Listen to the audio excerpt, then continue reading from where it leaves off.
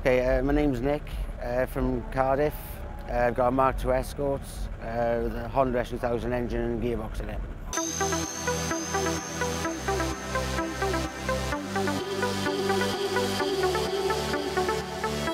I bought it, brought it back um, on the Saturday and by the Sunday it was a bare shell ready to be dipped.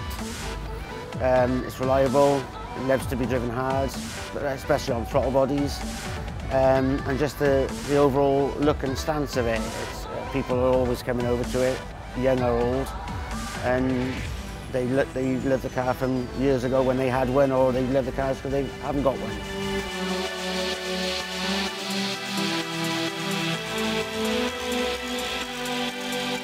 I can't afford to do another one. And I spent a fortune on this one, so I just take it to shows now and just enjoy it really.